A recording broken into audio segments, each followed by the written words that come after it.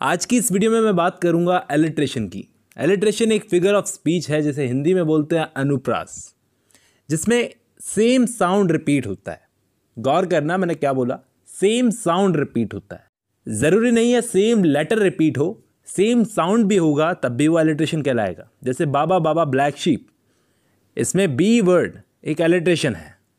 लेकिन ये ज़रूरी है कि साउंड स्ट्रेस्ड होना चाहिए और पहला होना चाहिए।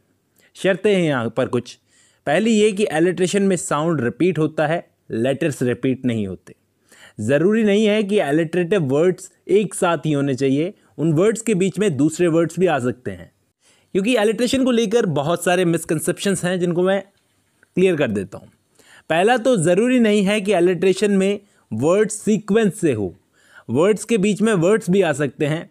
दूसरा, इसमें साउंड्स ज़रूरी है, ना कि लेटर्स जैसे कि crooks conspire with the kind king अब यहाँ पर crooks conspire with the kind king ये एलिट्रेशन है। यहाँ पे के वर्ड भी वैसा ही साउंड हो रहा है जैसे कि क्रुक्स तो लेटर्स का रिपीटेशन नहीं है, लेकिन साउंड का रिपीटेशन है तो ये एलिट्रेशन है।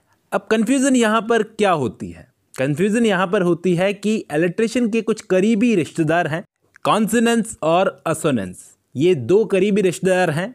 ये भी कुछ कुछ एलिट्रेशन जैसे ही लगते हैं, लेकिन थोड़ा सा डिफरेंस होता है इनमें। ध्यान देना मैं क्या बता रहा हूँ।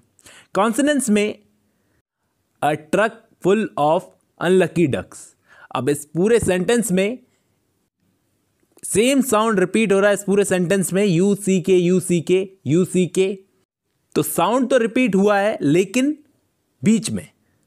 और एलिट्रेशन का नियम क्या था? फ़र्स्ट लेटर होगा और स्ट्रेस्ड लेटर होगा। ये बीच में है और ध्यान देना कॉन्सनेंट है। के कॉन्सनेंट है कॉन्सनेंट साउंड है। तो ये क्या है? कॉन्सोनेंस अब ऐसा ही कुछ होता है असोनेंस बीच में आता है, लेकिन वॉवल रिपीट होता है। वो भी शब्द के बीचों बीच जैसे she seems to beam rays of sunshine with eyes of green तो यहाँ पर सीम बीम ग्रीन तो ये बीच में वॉवल रिपीट हुए हैं।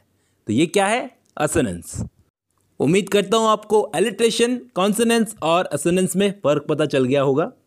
ज़रूरी नहीं है कि एलिट्रेशन सिर्फ़ पोइट्री में फॉलो हो प्रोज में भी होता है। यहाँ तक कि सुपर हीरोज़ के नामों में भी यूज़ होता है। अब राइटर्स इसका यूज़ क्यों करते हैं अपनी राइटिंग की खूबसूरती बढ़ाने के लिए फीलिंग डालने के लिए और अपनी राइटिंग को म्यूजिकल बनाने के लिए? बहुत ही फ़ेमस और ज़रूरी फिगर ऑफ़ स्पीच है। ज़रूरी बात तो ये है कि इसको समझा कैसे आपने? एलिट्रेशन में लेटर्स रिपीट नहीं होते, बल्कि साउंड रिपीट होता है। याद रखना।